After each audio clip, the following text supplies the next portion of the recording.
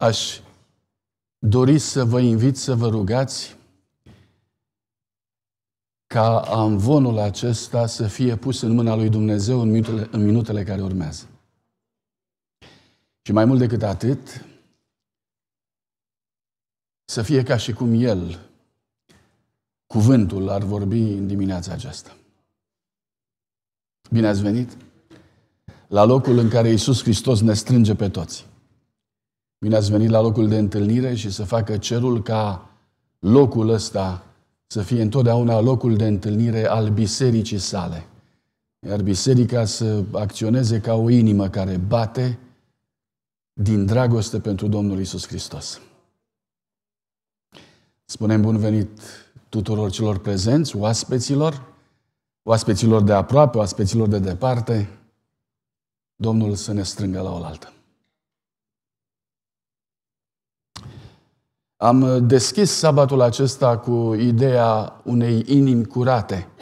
Acea fericire care spun, fericiți sunt cei cu inima curată, căci ei vor vedea pe Dumnezeu. E mare lucru să crezi că există posibilitatea să-L vezi pe Dumnezeu. Și în viitor, cu proiecție la venirea sa a doua oară, dar să știi că poți să-L vezi pe Dumnezeu când ai inima curată. Și dacă ai inima curată acum, înseamnă că poți să-L vezi pe Dumnezeu când? Acum. E privilegiul, posibilitatea și provocarea inimii curate. În dimineața asta, deci, rugăciunea de început a noastră ar fi zidește, Doamne, în noi o inimă curată. Da? Până când vom ajunge să deschidem Sfânta Scriptură și la psalmul acesta davidic, dați-mi voie să începem cu o altă imagine din Sfânta Scriptură. Vă invit să deschideți Cuvântul lui Dumnezeu în Romani, capitolul 2, de la versetul 14 la 16.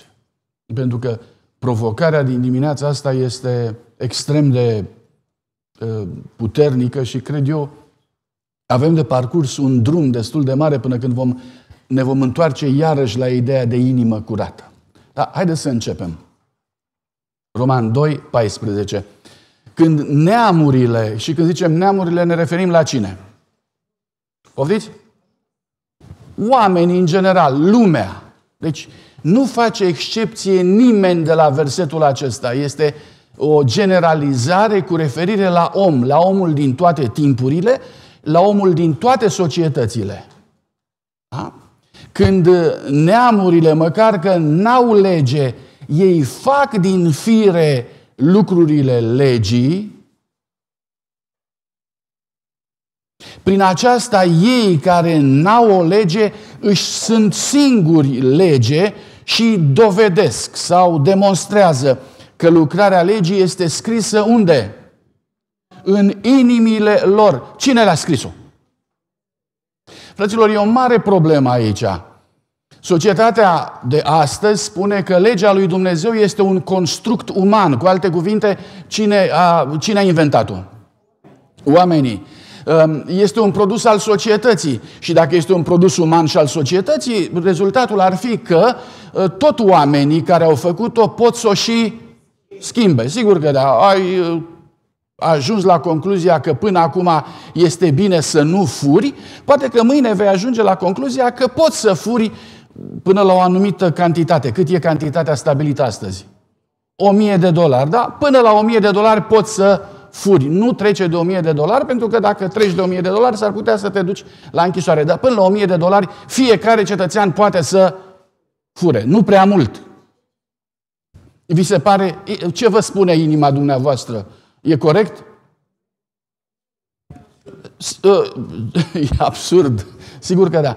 Lucrul ăsta se întâmplă datorită faptului că lucrarea legii a fost scrisă în inima umană într-adevăr de Creatorul care a, s-a ocupat cu treaba asta. Dumnezeu nu doar ne-a construit din punct de vedere fizic, din punct de vedere al modului nostru de a fi, a lăsat ca omul să aibă cunoștința binelui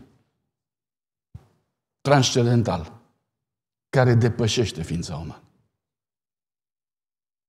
Bun. Ne întoarcem la textul care spunea lucrarea legii este scrisă în inimile lor, fiindcă despre lucrarea aceasta măturisește cugetul lor. Aș vrea în dimineața asta să, să, să stabilim și ce este cugetul. Ce, ce ar fi cugetul? Rațiunea, spune cineva. Mulțumesc, mai, mă mai ajutați? Mulțumesc, mă bucur tare mult că cineva mi-a spus conștiința. Uh, cugetul, într-adevăr, reprezintă acea capacitate a ființei umane de a se supraveghea, de a se superviza și în același timp de a se controla.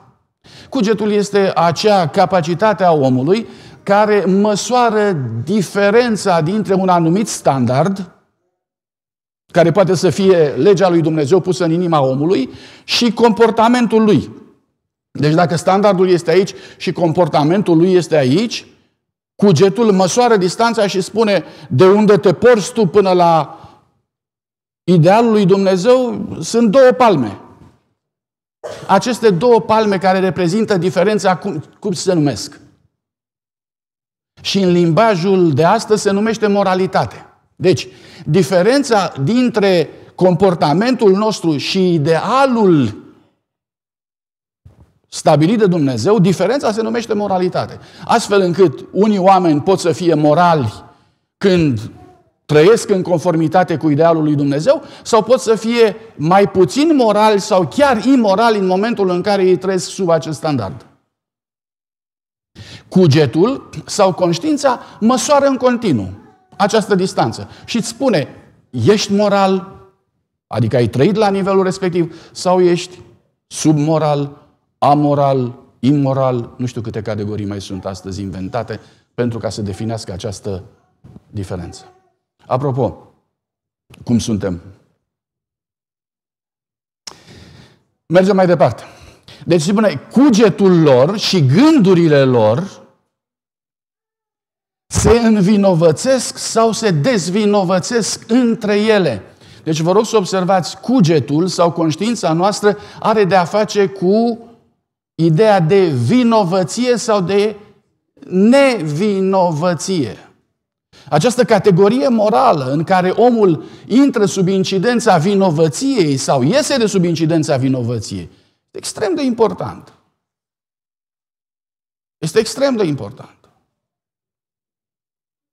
Și versetul 16, și faptul acesta, adică lucrarea legii scrisă în inimile oamenilor, se va vedea în ziua aceea când după Evanghelia mea, foarte curajos Sfântul Apostol Pavel, de data asta el nu mai zice după Evanghelia lui Isus Hristos. El spune după Evanghelia mea. E diferență între Evanghelia lui Pavel și Evanghelia lui Isus Hristos? Nu. Este aceeași Evanghelie, este cu, cu literă majusculă, cu literă mare, ceea ce face sau mă face să înțeleg că Pavel își însușise Evanghelia lui Isus Hristos și făcuse din Evanghelia lui Isus Hristos Evanghelia lui. A cui e Evanghelia lui Isus Hristos? A cui e Evanghelia lui Isus Hristos? Ziceți. A mea. Ziceți treaba asta încă o dată. A cui e Evanghelia lui Isus Hristos? A mea. Asta este, ăsta este rezultatul mântuirii. Faptul că o biserică poate să spună Evanghelia lui Isus Hristos este Evanghelia mea, nu mai este a lui, e a mea. Foarte frumos lucrul ăsta. Vreau să vă întreb ce legătură are faptul că Evanghelia lui Isus Hristos a devenit Evanghelia mea cu faptul că fericirea despre care vorbim în clipele acestea spune ferice de cei cu inima curată. Ce legătură are? Ce legătură are o inimă curată cu faptul că Evanghelia este Evanghelia mea?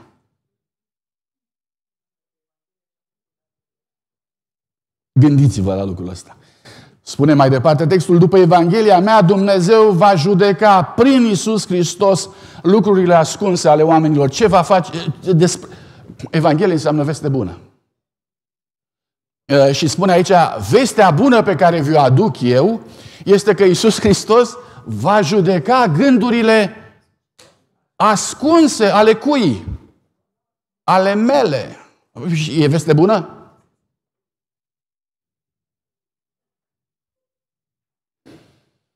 Iată-ne față în față cu ideea de conștiință. Despre asta este vorba.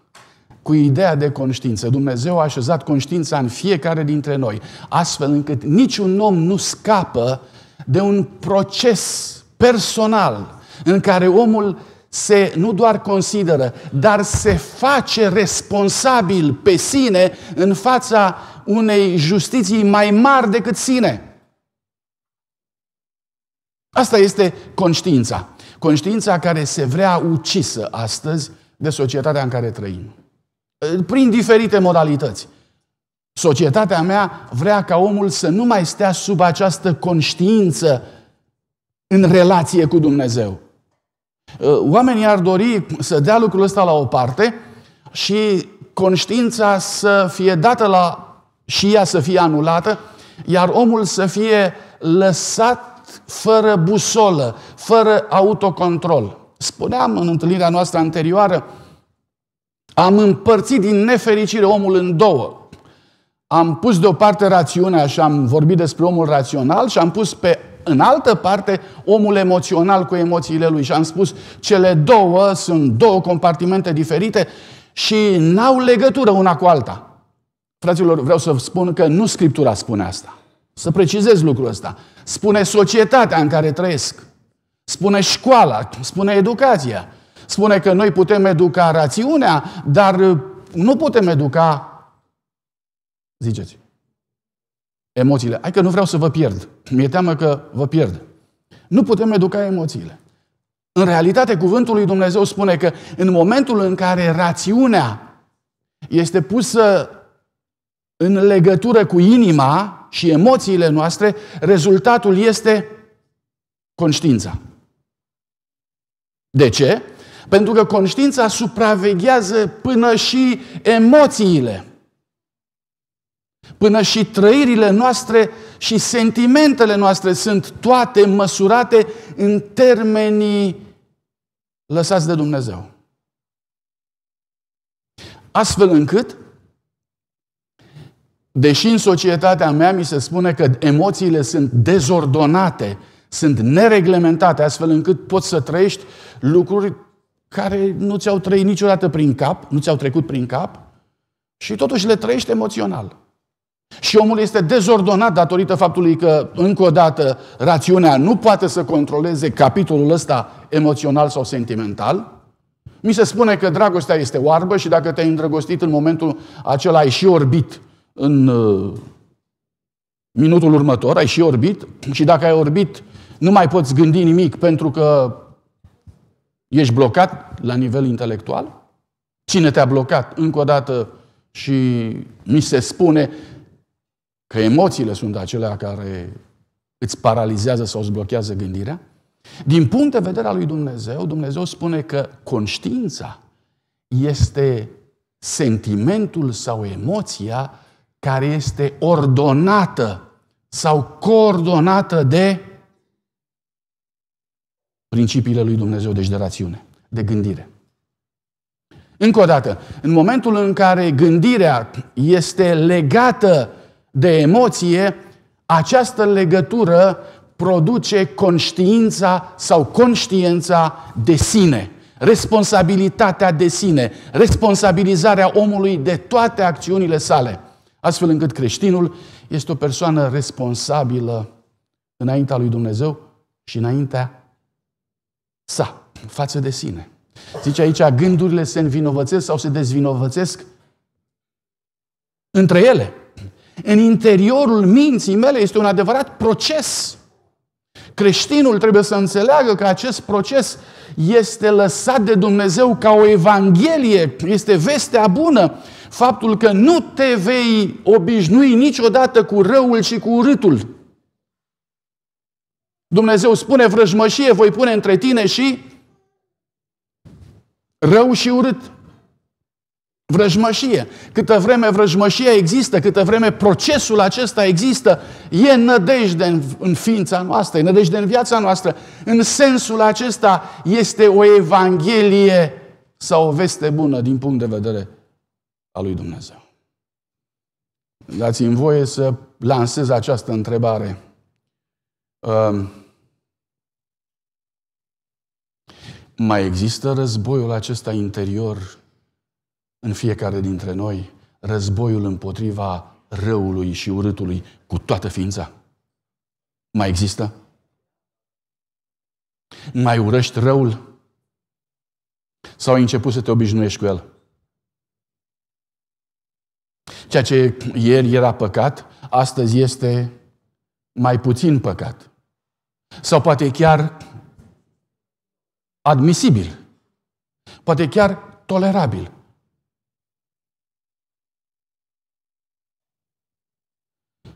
Las problema asta deschisă înaintea dumneavoastră și vă voi uh,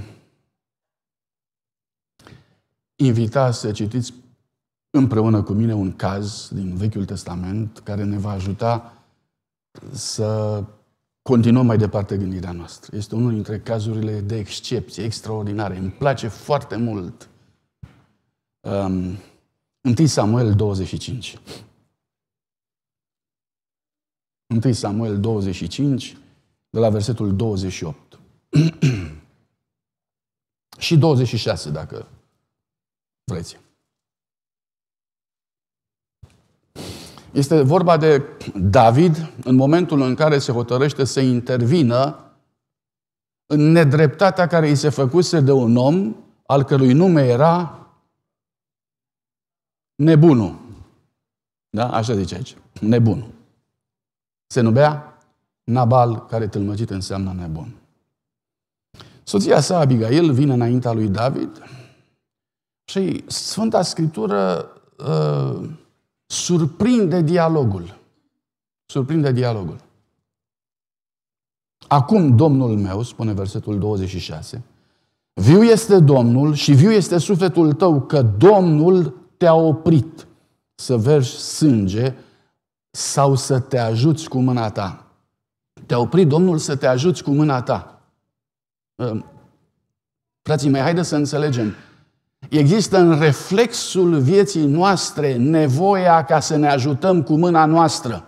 Când te-a supărat un vecin, când te-a supărat un coleg la lucru, ă, spuneți-mi, care este cea mai eficientă metodă de a te răcori? Iertați-mă. Poftiți? Să te ajuți cu mâna ta. Dacă te ajuți cu mâna altului, parcă nu e chiar așa de spectaculos. Nu te răcorești așa de bine. Adică poți să-l dai și în judecată și să facă judecata judecătorul. Dar cel mai bine este dacă ai putea să-i dea două perechi de palme, nu? Nu te răcorești mai bine? Ba da, te răcorești mai bine. Firește, te răcorești mai bine, imediat. Ei, împotriva acestui lucru se ridică Abigail și spune, eu știu că e foarte confortabil pentru tine să te duci acum la nebunul de Nabal și să rezolvi problema, pentru că te răcorești. E mult mai bine, mult mai simplu. Dar zice, Dumnezeu te-a oprit să faci lucrul ăsta. De ce, Doamne, m-ai oprit? Ce poate să fie mai important decât să îmi fac dreptate, să mă răcoresc? Ce poate fi mai important decât lucrul ăsta? Și acum vă rog frumos să observați raționamentul pe care îl pune înaintea lui David această femeie nobilă. Este un fel de a gândi atât de profund încât mi se pare supramodern. Mai mult decât modern. Mai mult decât actual. Mi se pare veșnic. Extraordinar. Versetul 28. Iartă-te, rog, vina roabei tale, căci Domnul va face Domnului meu o casă trainică. Iartă, căci Domnul meu poartă războaiele Domnului și fiți atenți. Niciodată nu va fi răutate în tine. Este unul dintre, una dintre condițiile fundamentale a celui ce slujește, a slujitorului lui Dumnezeu. În slujitorul lui Dumnezeu nu va fi niciodată răutate. Păi cum răutate? La ce răutate se referă? Și aici Abigail introduce ideea aceea de a mă răcori, când îți dau două perechi de palme, o introduce în categoria răutății. Nu, nu, tu nu te-ai răcorit, tu nu ți-ai făcut dreptate, tu n-ai făcut decât să fii rău. Tu ai fost rău. De aceea Dumnezeu spune, nu întoarce rău pentru rău. De ce? Nu fi și tu rău ca acela care ți-a făcut rău. Nu. Mulțumesc. Justifici răul în felul acesta. Niciodată nu va fi răutate în tine. Versetul 29. Dacă se va ridica cineva care să te urmărească, să vrea să-ți ia viața, sufletul Domnului meu va fi legat în mănunchiul celor vii. La Domnul. Și să arunce cu praștia sufletul vrăjmașilor tăi. Frumoasă metaforă, ă, este ca și cum ai arunca pe vrăjmașii tăi și toate ocările și toate problemele lor departe de tine cu praștia. Frumoasă imagine. Când va face Domnul, Domnului meu, tot binele pe care ți l-a făgăduit și te va pune mai mare peste Israel, fiți atenți, cuvintele astea sunt cuvinte profetice. Abigail vorbește în cuvinte uh, care văd viitorul lui David. Abigail nu este în momentul acesta o femeie care doar vorbește. Este o femeie care stă sub duhul prorociei și uh, construiește viitorul regelui lui Israel. Atunci, spune versetul 31, nu va avea Domnul meu nici mustrări de cuget. Wow! Observați de ce are grijă Abigail? De ce are grijă ea? Are grijă de conștiința lui David. Și spune, tu când vei ajunge mai mare peste Israel, Israel, vei avea nevoie de o conștiință curată. Ca să poți conduce poporul lui Israel, ai nevoie de o conștiință nepătată, să nu-ți atârne de ea lucruri care se tragă în jos. Și ea luptă pentru ca unsul lui Dumnezeu să nu aibă o conștiință încărcată. Este mi se pare extrem de frumos. Dacă noi am avea perspectiva asta și dacă noi ne-am ajutat unul pe altul prospectiv, dacă am împiedicat să aibă loc păcate între noi sau dacă l-am împiedicat pe fratele meu să facă un păcat și să-i spune nu face treaba asta pentru că lucrul ăsta va acționa ca un păcat povară asupra ta mai târziu. Vei avea nevoie de o conștiință clară, vei avea nevoie de o conștiință limpede și nu vei avea după asta. Dacă am încerc, înțelege lucrul ăsta, ar fi o comoară între noi. Aici e bătălia. Satan vrea să-ți încarce conștiința cu tot felul de vinovății, cu tot felul de probleme, astfel încât să ai conștiința apăsată și să te bage în pământ. Și ulterior să nu mai poți să ridici capul. Satan are nevoie de asemenea blocaje în viața noastră. Din cauza asta luptă ca tu, eu, alți creștini să cadă, pentru ca ulterior să le fie foarte greu să se ridice.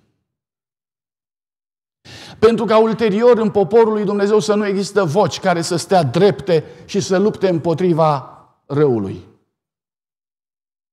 Și în timp ce Satan luptă pentru asta, poporul lui Dumnezeu, eu și cu tine, a trebuit să luptăm cu toată inima pentru a preîntâmpina această stare de lucruri, această invazie a răului peste și împotriva conștiinței. Atunci nu va avea Domnul meu mustrări de cuget când va fi mai mare peste Israel și nici nu-l va durea inima. Vă rog să observați uh, legătura între mustrările de cugete și durerea de inimă. Deci, în, încă o dată, aici cugetul este legat de inimă, ele nu sunt rupte, ele sunt împreună. Asta este conștiința.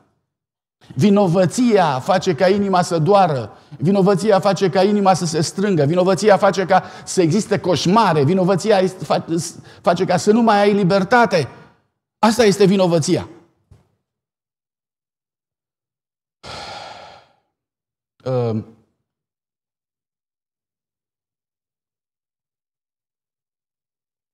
perspectiva asta face ca să aibă sens Ceea ce Domnul Iisus Hristos spune pe muntele fericirilor.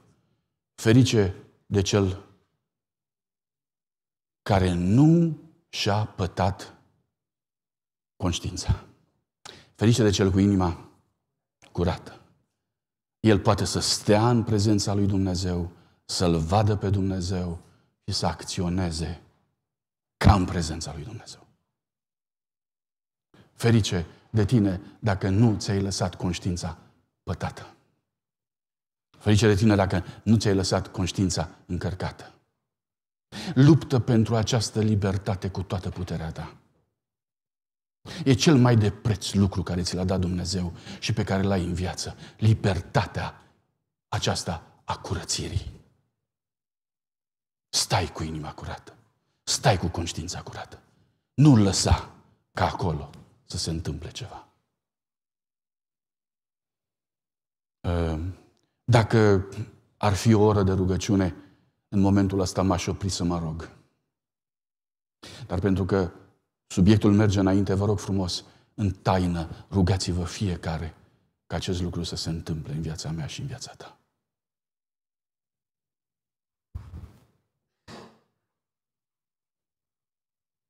Nici mustrări de cuget, nici nu-l va durea inima.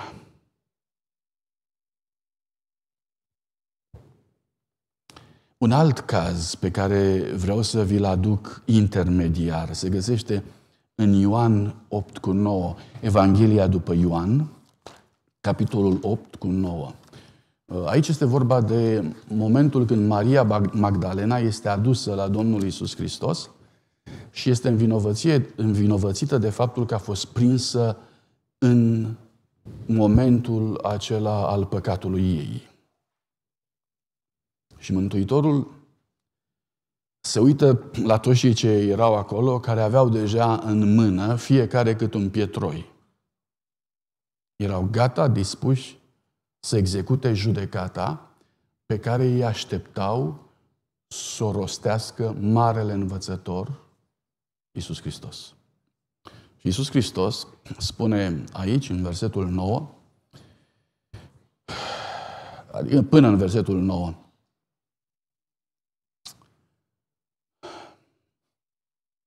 Versetul 6 spune, spuneau lucrul acesta să-l ispitească. Cine? Versetul 3 spune, cărturarii și fariseii. Erau oamenii de mare ținută în poporul Israel.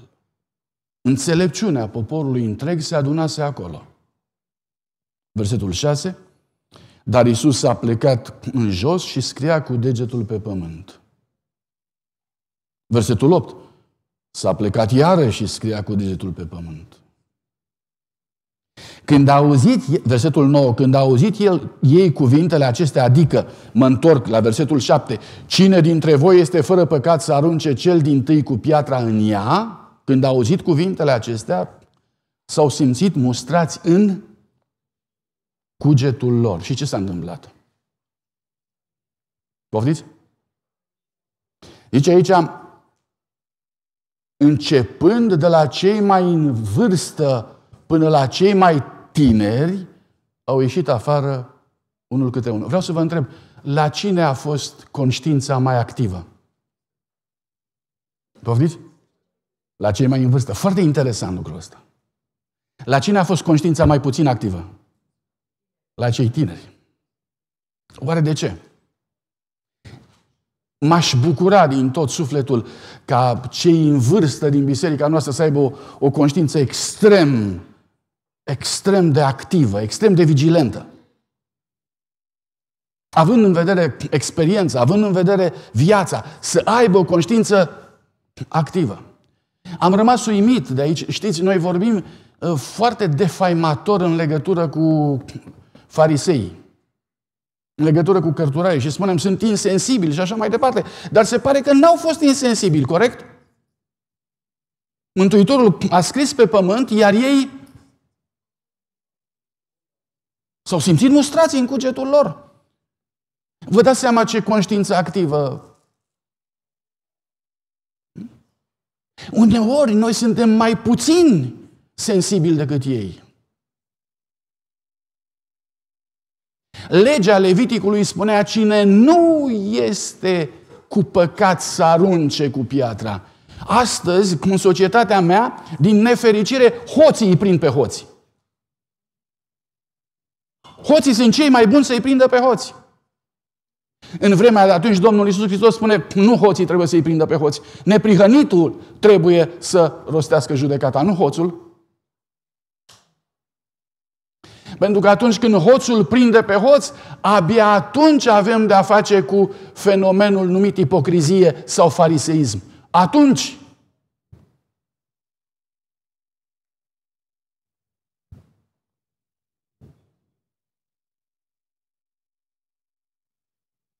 Suntem noi mai lipsiți de fariseism și de ipocrizie decât pe vremea aceea? Că noi ni se pare că astăzi suntem avocații oamenilor onești. Suntem noi onești cu noi înșine? Apropo, dacă ar trebui ca numai cei neprihăniți să pună mâna și să rostească judecăți, ar mai rosti cineva vreo judecată? Poftiți? Vă întreb, sincer. Dacă ar trebui ca numai cei care n-au niciun păcat să rostească judecăți în poporul lui Dumnezeu sau în societate, ar mai fi cineva care să rostească judecăți? Da sau nu? Nu. Păi și atunci? Vedeți, de-aia îi spune lui Abigail lui David, vezi, nu-ți încărca conștiința pentru ca să poți să Guvernezi pe poporul lui Dumnezeu. Păstrează conștiința ca să poți să ai un, o voce, să poți să spui ce este rău și ce este bine, pentru că nu poți să rostești în poporul lui Dumnezeu ce este rău și ce este bine dacă tu ai cugetul încărcat. Hmm? Apropo, ce se întâmplă cu un om cu cugetul vinovat? În legătură cu cineva care a greșit. Ce se întâmplă când ai cugetul vinovat în legătură cu cineva care a greșit? Ce se întâmplă? Devii mai agresiv? Când ești fariseu. Dar când ești cinstit și onest? Ați auzit de fenomenul soft on crime? Că e la modă. Ce înseamnă? Cum l-am traduce? Soft on crime. Poftiți? Ajutați-mă, cum? Îngăduitor față de crimă. Tolerant față de crimă. Când ai conștiința încărcată, devii mai tolerant față de, nu față de criminal, față de crimă. Nu mai ești atât de exigent. De ce? Cum de s-a ajuns în ziua de astăzi să se spună uh, dacă furi sub o mie de dolari, nu e furt? Hmm? Numai dacă depășești o mie de dolari, de atunci începe să fie o problemă. Cum de s-a ajuns aici? Cei ce au dat legile, legea respectivă, cei ce au hotărât treaba asta, de ce au făcut-o?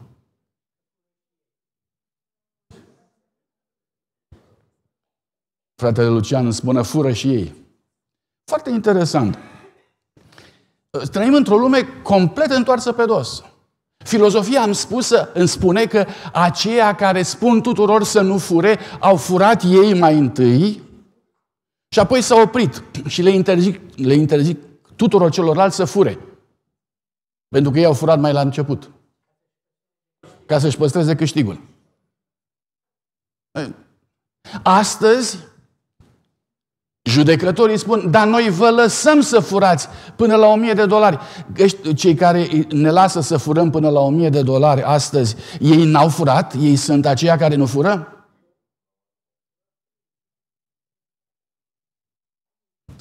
Observați în ce situație extrem de complicată suntem. Păcatul are, are ca și consecință niște răbuvniri la care nu te aștepți. Uneori este intolerant, alteori este extrem de tolerant, Vorba lui Dostoevski, o repet la nesfârșit din frații Karamazov, capitolul Marele Inchizitor, zice Noi îi vom lăsa să și păcătuiască și ei ne vor iubi, pentru că ei vor înțelege prin asta că îi iubim. Adică vă lăsăm să păcătuiți, din ce motiv? Că vă iubim. Și ei ne vor iubi la rândul lor. Este o chestie de reciprocitate. Dați-ne voie să păcătuim. Dați-ne voie și dacă ne dați voie să păcătuim, atunci toate lucrurile vor fi bune. Înțelegem de ce liberalismul moral devine factorul de iubire în societate și din nefericire și în biserică. Mă duc în biserica aceea pentru că uh, sunt mai buni. Cum sunt mai buni? Îmi dau voie să... Da? Îmi dau voie să fiu eu, cine sunt. Și uite așa, sunt mai... mă acceptă, mai toleranți. Se numește, ziceți termenul ăla la mod astăzi, începe cu I, inclusivi. Mă primește și pe mine acolo. Mă acceptă. Sigur, așa cum sunt. Acceptarea fără pocăință este visul fiecărui păcătos. Acceptarea fără pocăință. Și în același timp, pocăința este visul lui Dumnezeu. Fără pocăință e visul meu, cu pocăință e visul lui Dumnezeu. Depinde la ce vis ne raliem. Asta e tot. Mă întorc la David. Știți că viața lui n-a fost așa cum a dorit-o Abigail. Abigail a luptat pentru conștiința lui David. A urmat mai apoi evenimente în care nici David n-a mai luptat pentru conștiința lui, din nefericire. Ce s-a întâmplat după momentul marelui lui păcat, după momentul în care vasul s-a rupt, avem de-a face cu o scufundare de vas. Corabia lui David a fost luată de furtună și zdrobită. Ce s-a întâmplat după aceea? Fiți atenți împreună cu mine. 2 Samuel 15. Haideți repede. 2 Samuel 15 este momentul în care uh, David este judecat. Și cel mai dureros este că este judecat de către cine? De Natan e ok. Dar îl judecă altcineva fiul său. 2 Samuel 15, 3 și 4. Absalom îi zicea, Iată, pricina ta este bună și dreaptă, dar nimeni din partea împăratului nu te va asculta. Nimeni, împăratul nu-ți va face dreptate niciodată. Cine spune asta? Absalom. De ce nu făcea David dreptate? Spune Absalom, nici ce cauză? David, după păcatul său, a devenit soft on crime. Cu alte cuvinte, a devenit tolerant față de crimele din poporul său. Din ce cauză? Cum mai putea să facă el judecată când el avea o problemă cu Dumnezeu? Era momentul în care David se lupta cu Dumnezeu pentru ca să primească aprobarea lui Dumnezeu. Încă nu se rezolvase cazul. Încă erau probleme. Versetul următor, Absalom zicea, de m-ar pune pe mine judecător în țară, orice om care ar avea o neînțelegere și judecată ar veni la mine și aș face dreptate. Din ce cauză? Care e diferența între Absalom și David? Absalom ce credea despre sine? Poftiți? Exact.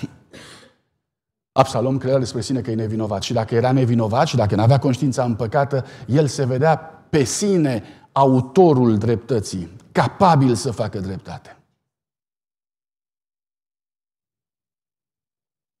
Asta este. Câtă vreme nu ai conștiința încărcată, crezi că poți face dreptate. Când ai conștiința împăcată, încărcată, pardon, probleme. Uitați-vă puțin la 2 Samuel, capitolul 15, versetul 25. Este momentul în care David fuge din Ierusalim urmărit de fiul său de Absalom. Uitați-vă în ce situație este David. Vă spuneam, el este încă în situația în care se luptă cu Dumnezeu pentru a căpăda favoare înaintea lui Dumnezeu. El zicea, dacă voi căpăta trecere înaintea Domnului și mă va aduce înapoi, mă va face să văd chivotul și locașul lui. Au. Aici era David. Cum să judece David poporul când el zicea, dacă voi căpăta trecere înaintea Domnului, adică el nu știa, nu era sigur că el căpătase trecere înaintea lui Dumnezeu. Următorul verset. Dar dacă va zice, nu-mi place de tine, vedeți unde e David? David este în momentul în care se așteaptă din clipă în clipă ca Domnul să-i zică, nu-mi place de tine. Vă dați seama cât de teribil este poziția asta? Este vreunul dintre noi acolo? Este vreunul dintre cei prezenți acolo încât să stea sub, pe, pe muchie de cuțit? Acolo sub judecata lui Dumnezeu, dacă lui Dumnezeu nu-i, nu-i place de mine. Fratele meu, nu sta acolo. Nu stă acolo, ieși din domeniul respectiv, ieși din zona respectivă. Este zona cea mai dureroasă, este zona cea mai destructivă, cea mai traumatică cu posibil. Cea mai traumatică posibil.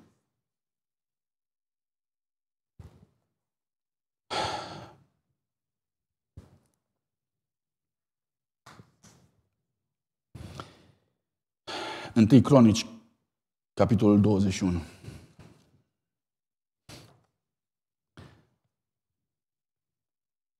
Atât de mult m-a surprins textul ăsta când l-am citit, parcă nu l-am citit niciodată. 1 Cronici 21, versetul 30. Pentru ca să înțelegem despre ce este vorba, vă voi invita să citim de la versetul 28. Pe vremea aceea, David, văzând că Domnul îl ascultase în aria lui Ornan, Iebusitul, aducea jertfe acolo. Unde? În aria lui Ornan, Iebusitul. Versetul 29. Dar locașul Domnului făcut de Moise în pustie și altarul arderilor de tot erau atunci unde? La Gabaon. Și acum versetul 30. David nu putea să meargă înaintea acestui altar să caute pe Dumnezeu pentru că îl înspăimântase sabia îngerului Domnului. Unde nu putea să meargă? La Gabaon. Acum, versetul sau capitolul 22 cu versetul 1. Și David a zis, aici să fie casa Domnului Dumnezeului meu și aici să fie altarul arderilor de tot pentru tot Israelul. Unde? În aria, în aria lui Ornan. Și în felul ăsta găsește David un loc pentru viitorul templu. În felul ăsta. David aduce viitorul templu în aria lui Ornan, iebusitul ca aducere aminte a faptului că Dumnezeu îi spusese ai căpătat trecere înaintea mea. Îmi place de tine. Și în momentul în care David primește convingerea aceasta, el se va închina lui Dumnezeu în această nouă perspectivă. Vă dați seama ce, vă dați seama ce, ce schimbare dramatică? Dintr-un om care se temea să se ducă înaintea lui Dumnezeu, a apărut un om care zidește o casă Dumnezeului lui Iacov, care l-a iertat, care l-a iubit, care l-a primit și care l-a reinvestit în poziția în care era. Uitați-vă puțin la un alt ceva care este extraordinar. 2 Samuel, capitolul 22. 2 Samuel 22. Este vorba de cântarea lui David la finalul vieții lui. Fiți atenți cum cântă David lui Dumnezeu la final. Te aștepți ca David să fie un om zdrobit, te aștepți ca David să fie un om care să-i fie frică, te aștepți ca David să nu mai poată să facă nicio judecată datorită faptului că vasul său, corabia sa, fusese zdrobită. Iată în final ce se întâmplă. Versetul 33. Deci 22 cu 33. Dumnezeu este cetățuia mea cetățuia mea cea tare. El mă călăuzește pe calea cea dreaptă. El îmi face picioarele care cer boaicelor. El mă așează pe locurile mele cele înalte. Când scrie David această cântare? La final. După ce căzuse, el spune, mă așează Dumnezeu pe înălțimile mele. Îmi deprinde mâinile la luptă și brațele mele întind arcul de aramă. Unde este, unde este uh, ezitarea lui David? Unde este teama lui David? Unde este neputința lui David? Unde este? A dispărut. Tu îmi dai scutul mântuirii tale și ajung mare prin bunătatea ta. Lărgești drumul sub pașii mei și picioarele mele nu se clatină. Urmăresc pe vrăjmașii mei și inimicesc. Nu mă întorc până nu-i zdrobesc. Și așa mai departe, citiți mai departe. Și vă atrag atenția asupra capitolului 23 cu versetul 2. La final, ultimele cuvinte ale lui David, el spune, Duhul Domnului vorbește prin mine. Reabilitarea lui David este completă. Reabilitarea lui David este 100%. El vorbește și spune, eu nu mai vorbesc eu. Duhul lui Dumnezeu vorbește prin mine. După ce, după ce trecuse pe acolo, încât o vreme nu mai putuse să rostească cuvinte de judecată. O vreme nu mai putuse să stea înaintea lui Dumnezeu. Acum este de plin înaintea lui Dumnezeu. Cum se numește asta? Spuneți-mi, vă rog, cum se numește. Mântuire, mulțumesc. Cum se numește? Pocăință, cum se numește? Victorie, cum se numește? Zidește în mine o inimă curată. Dumnezeule.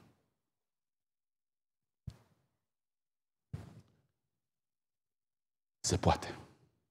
Asta e lecția. Se poate. Mulțumesc lui Dumnezeu că sunt în biserica din Loma Linda și că prietenii mei întotdeauna sunt foarte vigilenți. După ce am, ținu, după ce am studiat împreună aseară, unul dintre prietenii mei scump, care întotdeauna îmi clădește gândirea, mi-a dat telefon și a zis, știi ce? Um, aseară ai lăsat lucrurile nefinalizate. Păi de ce? Zice, uite, în Loma Linda a fost o vreme în care mari predicatori spuneau în felul următor, tu nu trebuie să lupți, tu nu trebuie să faci nimic. Este suficient dacă dimineața citești un verset din Sfânta Scriptură. Versetul acela îți va umple viața. Și după aceea, după aceea, nu trebuie să te mai lupți, pentru că victoria vine automat din partea lui Dumnezeu. Chiar se întâmplă. I-am mulțumit.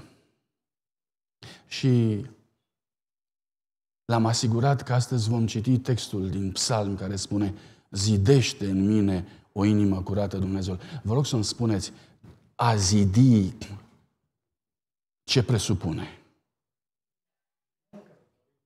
Muncă, proces. A zidi înseamnă cooperare. Uh, Dumnezeu nu-ți face transplant de inimă instantaneu, așa cum face sora Geta în, în sala de operații. Da? Oh. Nu-ți ia o inimă și o... Nu, o zidește, îți pune o cărămidă și te întreabă, vrei? Da, Doamne. Da, pe a doua o vrei? A treia, a patra, a cincea și doare și uneori este, cu, este complicat și Dumnezeu te întreabă, mai vrei? Și uneori noi zicem, da, nu mai vreau. Și Dumnezeu se oprește. Și apoi plângem din nou și zicem, Doamne, ce s-a întâmplat? De ce nu mai... Păi n-ai zis tu că nu mai vrei? N-ai zis tu că nu mai vrei? Ba da, Doamne, dar a, a durut așa de tare. Știu, dar mai vrei? Mai vrei? Și dacă zici, da, Dumnezeu merge înainte și construiește și construiește, câtă vreme vei colabora cu El, câtă vreme vei sta cu El în aceeași lucrare. Și te întreabă în fiecare zi. Și uneori îți vine să pleci uh, la treabă în ziua respectivă și să nu-i mai răspunzi. Și să nu-i mai spui, Doamne, zidește mai departe. Ai vrea să pleci așa și parcă să mai respiri ușurat. Să te mai întorci puțin la firescul tău. Și te lasă Dumnezeu să te întorci până când plângi din nou și până când vii din nou și spui, Doamne, am zidit iară la firesc, iar am zidit la inima firească. Nu vrei tu să zidim din nou?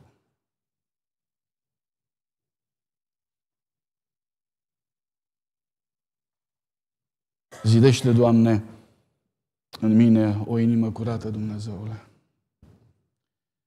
Mă întorc în final să vă aduc din nou aminte de fericire.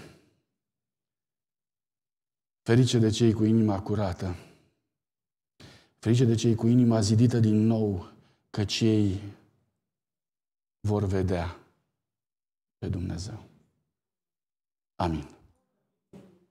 Frații mei, s-ar putea să vă doară, dar doare mai tare o conștiință vinovată. S-ar putea să doară nașterea din nou, dar doare mai tare dacă rămâi acolo. Doare mai tare. S-ar putea să pară că e mai bine departe, dar fericirea spune că e mai bine mai aproape de Dumnezeu decât departe de El. Dați-mi voie să vă invit să ne rugăm pentru această stare de lucruri. Zidește, Doamne, zidește, zidește o inimă curată. Lucrează, Părinte, în inima noastră. Zidește lucruri noi, gândiri noi, iubiri noi, perspective noi. Lucrează, Părinte, omul nou despre care ai vorbit și despre care credem și îl dorim în viața noastră. În numele Domnului Isus Hristos, să fie El cel nou, cel ce conduce, să fie El, Domnul Isus, viața noastră nouă în fiecare dintre noi. Doamne, venim înaintea Ta cu rugămintea să ne ajut să purtăm în viața fiecare dintre noi crucea Ta și pe crucea Ta să fie fiecare răstignit. Pentru ca Domnul Isus să poată trăi liber în viața noastră. Lucrează la conștiința noastră.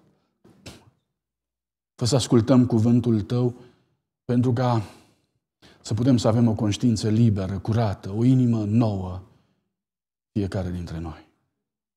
Dacă este vreunul dintre noi care încă a căzut și care se află sub agonia păcatului, ridică-l, Doamne. Eliberează-l, Părinte. Și fă, Doamne, ca Duhul Tău cel Sfânt să fie pe buzele tuturor celor ce se doresc să fie copiii Tăi. Să ne deprinzi, Doamne, brațele la luptă din nou. Să nu fie niciunul care să stea paralizat sub influența și dominația păcatului, ci din potrivă, fă din noi biruitorii tăi, oștenii tăi, vitejii tăi, pe care să ne ridici, Doamne, să ne întărești și să ne binecuvintezi pentru ca să putem să fim călăuziți de Tine în luptele noastre, în biruințele noastre de acum și până vei veni Tu. Amin.